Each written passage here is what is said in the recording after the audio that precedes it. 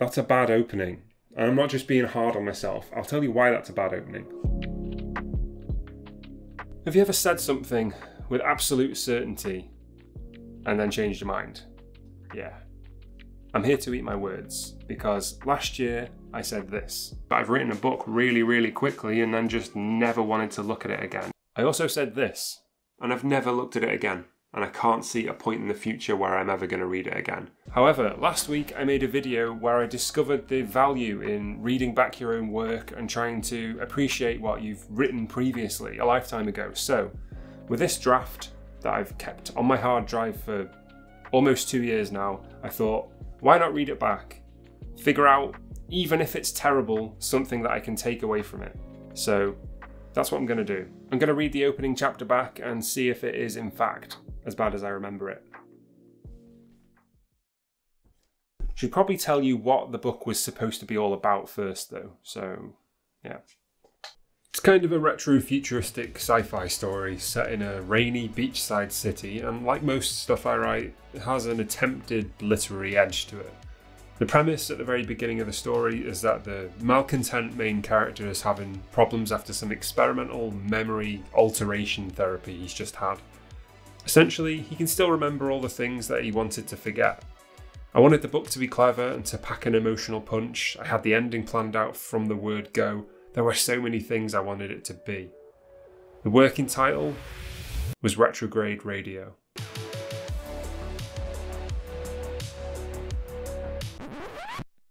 But three months after I started it, when it was finished, it felt like a failure. All right, so I wrote this book really quickly in like three months, and that's quicker than I've ever written a book before. And this was the first one I ever planned scene by scene the whole way through.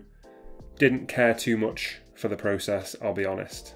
This first draft is essentially what put me off writing novels, at least for the time being.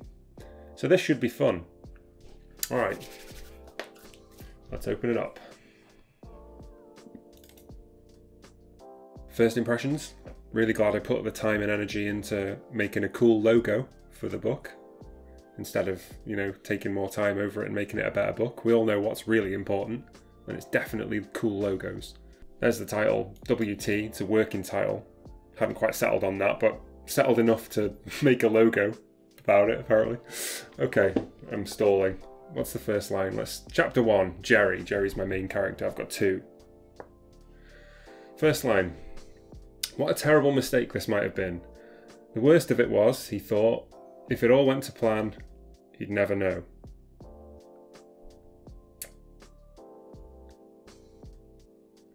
Jesus.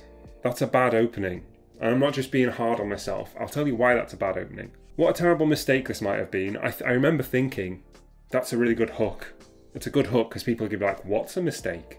What's he done? But the rest of the sentence is well the rest of the first line thing first tiny micro paragraph is really confusing the worst of it was he thought if all went to plan he'd never know he'd never know what what i mean is he'd never know if it was a mistake and i'm trying to play on the whole uh, memory removal thing right so he won't remember if any of this is a mistake but it just doesn't it just doesn't make sense you're left thinking shall i read that again considering the premise of the story I think a better opening would have just been he was remembering things he shouldn't have remembered, or the memories were still there, or, you know, anything like that. That would give a stronger indication of what the story is actually going to be about.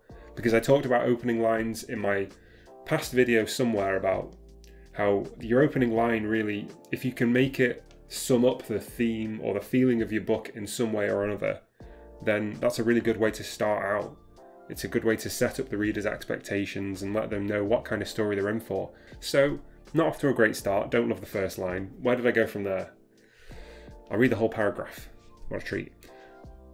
Jerry Munro Keller stood in his attic bedroom in front of the open arched window like a gargoyle, waiting for the rain to smooth down his rough edges. How atmospheric. In front of him, the sleeping city of St. Anthony lay flat out along the shoreline, as though it had travelled a great distance to the sea and then given up the ghost. Okay, I like the second half of that. But a bugbear for me, and something that I see in a lot of books, and is truly okay and absolutely fine is saying your main character's full name really early on in the book. It's like, right, better let them know who they are. Here's his, you know, ID card or whatever. I just don't like that. I don't like it when I come across it in something I'm reading, and I try really hard not to write it myself. So I don't really know why I did. The way he stood in his attic bedroom in front of the open arched window like a gargoyle, it's a great setup. If the character was a villain, which he isn't, the reader is actually supposed to be quite sympathetic with Jerry throughout this whole story. So that's not great. His character's kind he's kind of like a, um, a malcontent sort of character. Aging radio DJ. Think like a chubbier Mark Maron. That's kind of what I was going for. This um, this sets up someone that you're not going to empathize with, I dare say. But I like the second half of the paragraph, like I said. That this, this second half not bad. That's all right. I, I, it's still a bit flowery, but I was trying to set the scene. I was going for this retro futuristic city by the by the beach. So, yeah, okay, whatever. Okay, so some dialogue now. House, call Optas again, Jerry said. So you don't know that's AI, obviously, but I'm about to explain that, so fine. Most AIs came with a default name. Since his was a whole house system, that was its name. House, I guess. He'd been to many homes of friends to find they'd all named theirs Archimedes, Hawkins, Parks, Nightingale. He'd hear him call out, Hawkins, dim the lights a little, and he'd have to close his eyes just a little bit to ease the irritation. The engineer who installed House had waited for, with bated breaths for Jerry to come up with a name, as though he was used to this being everybody's favourite moment.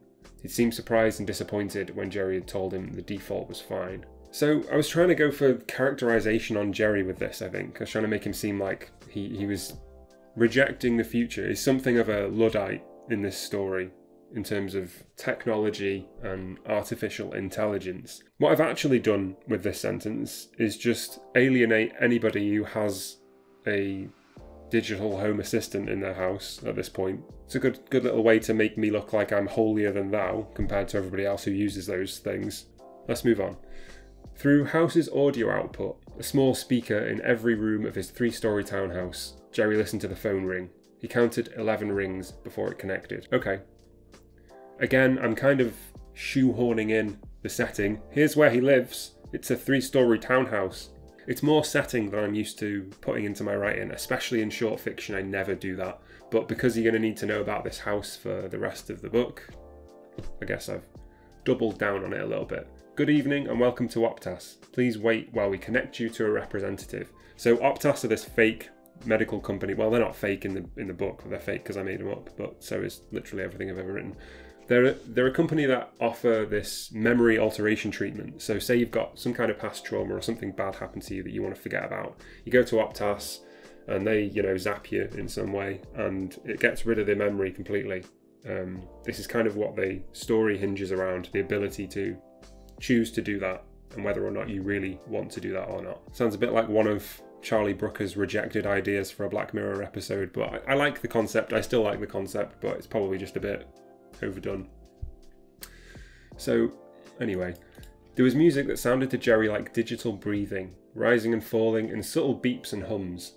Outside, the rain was picking up. He could see all the way over to the beach from his place, steady lights out to sea. He wondered if the same rain was falling on them, if there might be a person standing against the railings of some vessel, seasick or getting some fresh air, staring back at St. Anthony, seeing him, but not really. So this feels pretty moody to me, and a little bit self indulgent, to be honest. I'm kind of laying it on pretty thick. Standing over the city to the north, the mountains began, and Jerry could see another light, this one red and blinking, the radio station where a show was due to start in just under an hour again with this shoehorning in information. This this page. So has it just been the one page? Feels like a lot more. Just the one page. There's so much info dumping going on. I mean, I, have tried to wrap it up. I've tried to hide it a little bit, but it's it's info dumping. I've told you the main character's name, where he lives, where he works, and I've tried to characterize him as a brooding kind of dude all in one page. It's a lot of information to shoehorn in. Seems like at least we're headed back into the conversation now, so we might forward the plot a little bit. So, good evening, Mr. Monroe Keller. My name's Dalton. How may I assist you this evening? I know I said evening really weird then. Jerry jumped at the sudden perfect voice, then rolled his eyes. Again, really doesn't like AI. Are you getting the message? For God's sake, are you human? My name is Dalton. I'm a member of Optas Overnight Call Operating Team. Missing apostrophe there. I am qualified to answer any query you may have and would love the opportunity to. AI. Robot. Again. Yeah, this point. Again. Look, D- he'd been about to call it Dalton. He was slipping. Call it Dalton. Really focusing on that AI aren't people thing, in case anybody hadn't realised that. He was slipping. This whole week he hadn't felt like himself. Optas had told him there'd be side effects from the treatment sleeplessness, confusion, restlessness, but not like this. They said nothing about flashbacks. Now here he was in the dead of night talking to a robot like it would understand him. Finally getting into some plot. He's been getting flashbacks, memories are coming back to him that they shouldn't have. This should be way further up. This should be the opening paragraph maybe with a little bit of the scene setting and atmosphere that I, there was in the first couple of paragraphs, mixed some of that into it and make it one thing and start with this. That's what I need to do. Well, that's what I would need to do if I intended to do anything with this. Look, AI machine. Give him a message for me, will you? I'm sorry, who may I give a message? Jerry took a breath. This was the third call he'd made, though the other two had been during the day when actual people still answered the phone. Okay, boomer. He'd spoken to a guy who sounded like he was talking through a paper cup and kept saying, hmm, and a woman who'd seemed generally disturbed by his. generally? Genuinely, I think I mean genuinely there. Neither of the calls seemed to take him anywhere. Your boss, that's who I want, the head honcho, the big cheese, the chief operating. Marcus Neuer. Okay, the antagonist. Marcus Neuer is the head of Optas. He is the genius memory alteration treatment guy. Thank you. Dr. Neuer is unavailable at the moment. May I take a message? Question mark.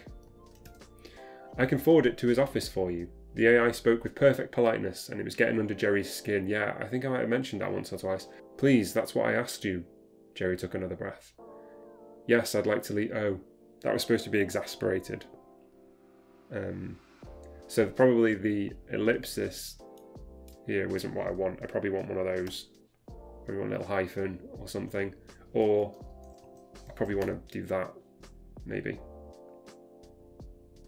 And then if he's taking a breath, I'm indicating a pause, so I'll put it on a separate line to slow things down a little bit.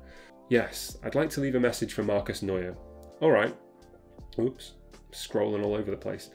All right, I'll listen to you message Alright, I'll listen to your message and save it to our systems. When you're ready to begin, just start talking. I'll be able to tell when you've finished. Go right ahead, Jerry. AI is kind of annoying though. I'll give I'll give Jerry that. The thing called me Jerry, he said out loud. What a way to start the message. He shook himself and changed his tone. Shook himself.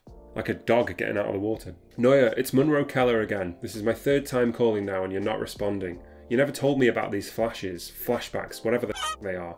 They weren't part of the idyllic future happiness I was supposed to be heading to, the one you promised me. This isn't momentary confusion or restlessness or hemorrhoids or God knows what other side effects. This is not right, I'm telling you. You made a mistake somewhere. I'm remembering things, at least I think I am. You told me that wouldn't happen. I don't want to be an asshole here, but I want this fixed, soon. Not good enough. Call me back.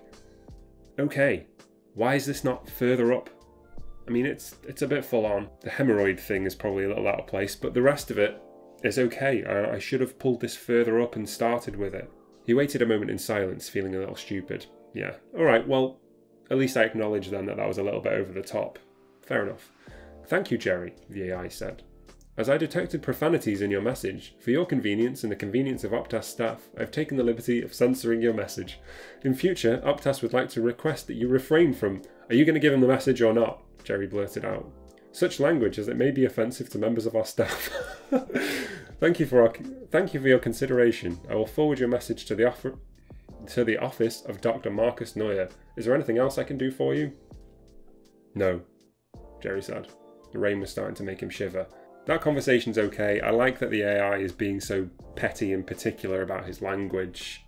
It's making him seem like a fish out of water, further in characterization. It's what I was going for. I'm trying to make him a malcontent. I'm okay with that. Um, But the last bit, the rain was starting to make him shiver. Close the windows then. It's your house. All right. Then from all of us at Optas, we wish you a pleasant evening. Thank you for calling. Thanks. Why did he say thanks if he hates AI so much and the conversation's over? Just hang up. That doesn't really make too much sense. House ended the call, seeing Jerry's wave of the hand, catching the gesture even though Jerry stood in darkness. So I need some explanation there that like the house is I don't know, got some sort of system that monitors gestures and that kind of thing. Just because otherwise it's like what? He held his wrist up, turning it in a sliver of moonlight. Again, I think I've got enough atmosphere to be getting on with. They'd given him a wristband to wear for seven days. It was similar to a hospital ID band, several layers of paper glued together to make something not quite strong enough to survive being caught on a door handle or a seatbelt. Not that he was supposed to be driving yet. He was, of course. He saw nothing wrong with his physical body, no reason why he couldn't be mobile. But his mind, that was the troubling part. Okay, I like this paragraph. Because, other than, like, I don't know how many years this is supposed to be into the future, maybe like a century or less than that. But would they really still be gluing paper bands to people's arms? Probably not. What I like about this is kind of a smooth transition because I'd said that the paper wasn't strong enough to survive being caught in a door handle or a seatbelt, and then I kind of edged that into talking about the after treatment kind of situation where he's not supposed to be driving, and then I edged in a bit of characterization there by saying he was still driving though, blah blah blah. His mind was a troubling part. That was an effective paragraph. I got a lot into that in a way that I think was pretty smooth. On one side, the side he wore outwards on the top of his wrist, the band said, Please be patient with me. I've just had MAT, which is mind alt mind memory alteration treatment. That's what that is.